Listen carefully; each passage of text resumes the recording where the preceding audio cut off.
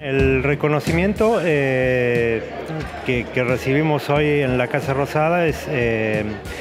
el premio Fidel Roy, eh, que consiste en un premio, reconocimiento del trabajo así interinstitucional y en, el marco de un proyecto para el aprovechamiento sustentable de la nuestra biodiversidad de abejas nativas a nivel nacional. Las abejas en general, o sea, por ahí el rol más importante y el menos valorado es eh, los servicios ambientales como el de polinización que proveen y por otro lado los productos que podemos obtener de ellas. O sea, nosotros eh, trabajamos en los dos sentidos, o sea, desarrollando abejas que tienen una fuerte función de polinizadores como los abejorros y eh, por otro lado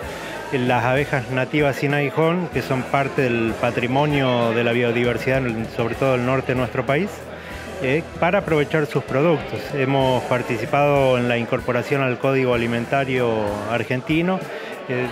cuestión o sea, que permite tener un marco legal para la comercialización de estas mieles.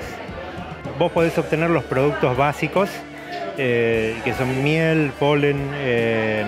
propóleos o resinas, y Después la combinación eh, de algunos productos como para hacer cremas, o sea, darle un agregado de valor eh, aprovechando las, características de estos productos que sobre todo fueron utilizados desde antes de la conquista del continente eh, por los pueblos originarios para tratar distintas afecciones, e infecciones sobre todo. Se usaban a nivel de piel, en infecciones oculares, hay un conocimiento que hasta en la actualidad sigue vivo en, algunas regiones. Y lo que trabaja el INTA, eh, sobre todo con estas abejas, es para lograr un aprovechamiento racional, o sea, salir de la cultura extractiva como se hacía en la antigüedad, eh, romper el árbol, eh, extraer la miel y perder la colonia,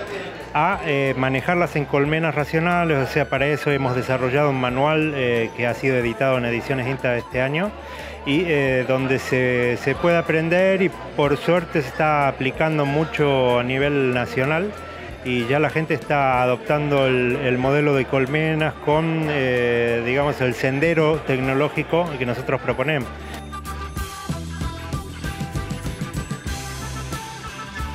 Obviamente es un gran reconocimiento, o sea, es muy importante eh, a este nivel, un premio entregado en Casa Rosada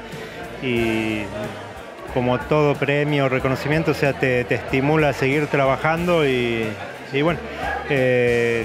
correr si, se quiere los límites donde podemos llegar, o sea, pensar ahora este punto como un inicio de una nueva etapa.